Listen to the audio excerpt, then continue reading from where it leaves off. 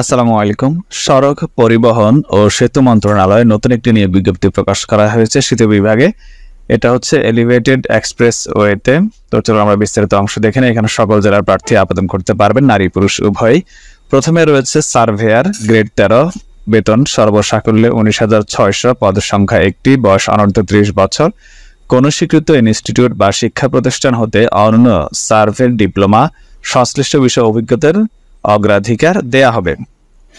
অভিজ্ঞতার অগ্রাধিকার দেওয়া হবে, তার মানে হচ্ছে অভিজ্ঞতা ছাড়াও নেওয়া হবে। যদি অভিজ্ঞ প্রার্থী থাকে, তাহলে তাকে আগে নেবে।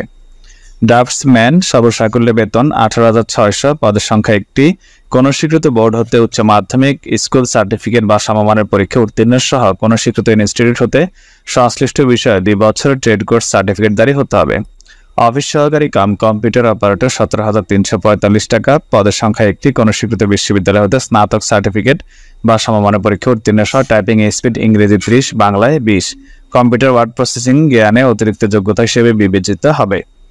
নয় নভেম্বর দুই হাজার তেইশ তারিখে প্রার্থীর বয়স ত্রিশ বছর হতে হবে। যাদের কোটা রয়েছে তাদের বত্রিশ বছর পর্যন্ত গ্রহণযোগ্য। ওয়েবসাইট হচ্ছে BBA dot gov dot BDA প্রবেশ করে এই রিক্রুটমেন্ট মেনু অথবা E service dot BBA dot dot BD slash মাধ্যমে আগামী নয় অক্টোবর দুই হাজার তেইশ তারিখ সকাল নয়টা থেকে শুরু হয়ে নয় নভেম্বর দুই হাজার তেইশ তারিখ বিকাল চারটা পর্যন্ত আবেদন করা যাবে।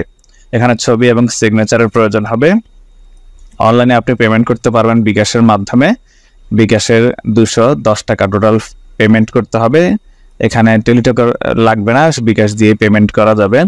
এবং এখানে আরও অনেকগুলো শর্তাবলী রয়েছে, এগুলো ভালো করে আপনারা একটু পড়ে নেবেন যারা আবেদন করতে আগ্রহী। মনে রাখবেন, এটা কিন্তু সরকারি চাকরি নয়, এটা হচ্ছে প্রকল্প। অর্থাৎ প্রকল্পের মেয়াদ শেষ হলে কিন্তু আপনার চাকরিও থা- থাকবে না। হয়তো যদি প্রকল্পের মেয়াদ বাড়ানো হয়, সেক্ষেত্রে আপনার চাকরির মেয়াদও বাড়বে।